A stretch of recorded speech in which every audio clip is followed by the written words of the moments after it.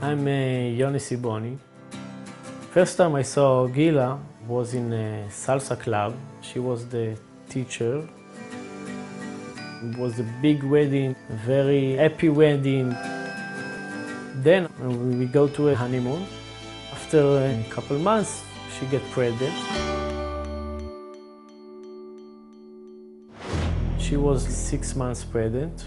One day I go out with my friend and suddenly my wife is calling me and she said she's feeling very bad. I get here and uh, she was screaming, my, my head, my head is very pained. Call the ambulance. Then they take her to Hadassah Hospital. I received a call around 2 a.m. that Gila was on the way to the hospital. She's a young woman. It was known that she was pregnant and that she was in a very poor neurological state. She was in a coma. She had one pupil that was dilated, and that's a very bad sign because that usually means that there's pressure not just on the brain, but on the brainstem. And it's a situation in which a patient can be about to die, basically. She was taken immediately to the CT scan. What we saw is a large hematoma, a large bleed in the brain. It was about 8 by 5 by 4 centimeters. That's about the size of a fist of a small child. She was taken directly to the operating theater for evacuation of the hematoma. What we do in these type of situations, we do a very large craniectomy. We take off a large piece of the skull, and that allows us not only to remove the hematoma, but it allows the swollen brain to swell outward, and that relieves the pressure on the brain stem. This type of operation, we've only been doing in neurosurgery for the past decade or so. Before that, patients with a bleed this size or with a traumatic brain injury were unlikely to survive. After seven hours of surgery, it was the morning uh, already. I go inside, I didn't recognize her. All the machines around her. The doctor told me that there are a big chance that we're gonna lose the baby. It was a difficult time because she wasn't able to keep the pregnancy. And that made things very difficult for everybody. They were sitting like 30 doctors together and everybody decide that we need to uh, stop this uh, pregnant. It was the toughest decision in my life.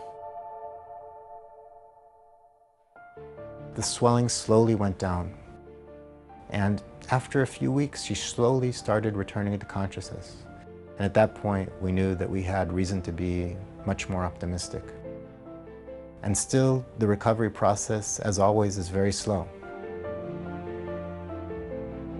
Dr. Sinin Karem saved Gila's life, but she couldn't talk.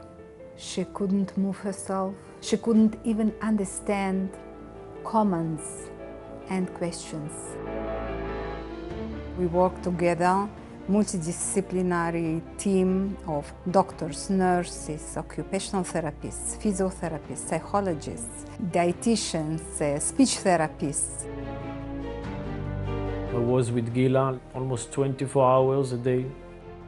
I didn't walk like uh, almost a year. During rehabilitation, she started to learn to move her body. She started to talk.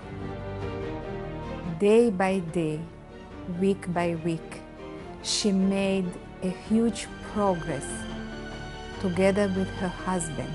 He stayed near Gila around the clock. They did it together. I not even dream that I can sit like that next to my wife, my beautiful wife. We have a strong relationship. We are having fun, almost the same like before. We joke together and it's like, for me, it's a dream. The biggest lesson that I learned was to laugh about things as much as you can and smile because crying doesn't lead to good places. The path I take leads towards laughter and smiles. At first, I dreamed of sitting down with a drink and talking. And then it became a dream of walking, every time to set a new goal. My dream is to make a children and live a normal life. To be a mother. I want to be a mother. I wish to Gila to become a mother for at least two or three children, and she's able to do it. She will be a great mother.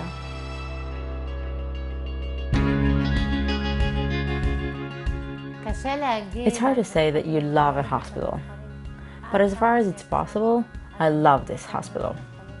I felt how much they cared. They cared about me personally, and I felt it.